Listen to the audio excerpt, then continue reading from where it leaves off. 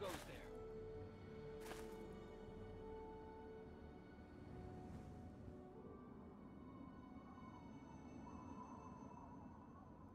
Who lingers at the threshold of transcendence?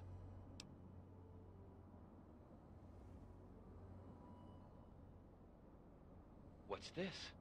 A humble traveler, seeking the guidance of our awakened minds. Truly, this is a glorious day. You are from far away, and must be strong indeed to have traveled this far. But strength is nothing without the guidance of the enlightened mind. If you seek entry, you must be prepared to expand your consciousness. You must prove yourself worthy to transcend. You may not be so brave when you face the ritual of the Mother Seed. Stronger souls than you have attempted it, and lost their minds. Venture west to the Great Bog, and within you shall find the Mother of all Punga Fruit. She stands taller than a man, and her vines guide our future. Collect her seeds, and kneel before her wisdom. Only then will you be ready to enter these sacred halls.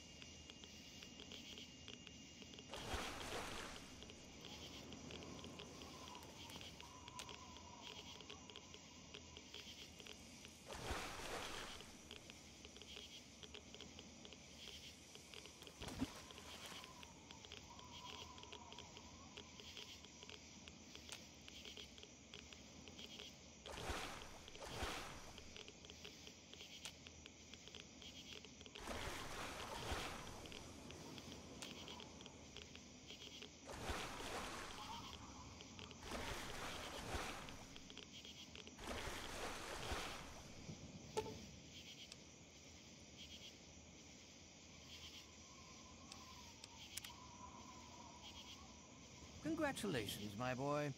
You're going to pull through, and everything will be right as rain.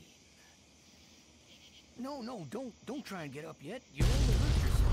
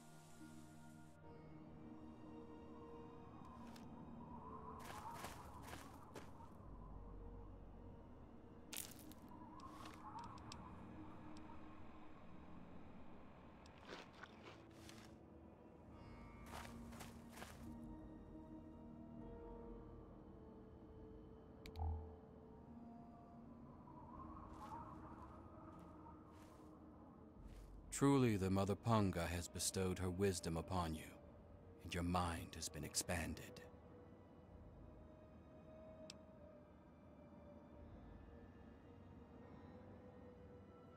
For a time, we feared your mind had journeyed too far from your body, and you had departed our world. But you returned to us again at long last.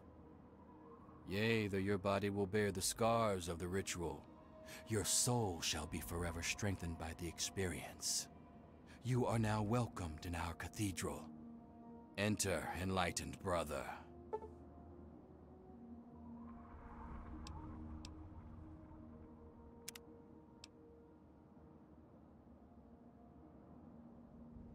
We espouse the expansion of the perfect mind and the rejection of the corrupt physical. The material world is destroyed and imperfect. We seek to release our minds from their tainted cages so as to find a better world. Leader, that would be Jackson, a man of great wisdom. He has withdrawn to his cavern of communion, the better to contemplate the unknowable. Only the righteous are trusted to know where this nexus of understanding lies. And alas, I am not so blessed.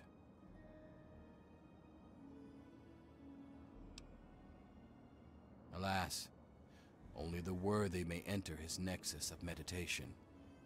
He has not seen fit to enlighten me.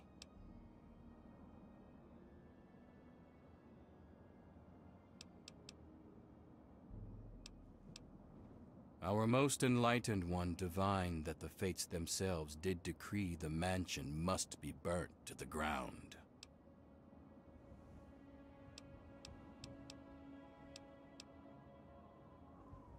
It is a gift from the earth itself, in acknowledgement of our perfect balance with nature and the higher planes. She recognizes that we seek to leave behind the corrupt physical, and she nurtures us in our quest. May you find your way.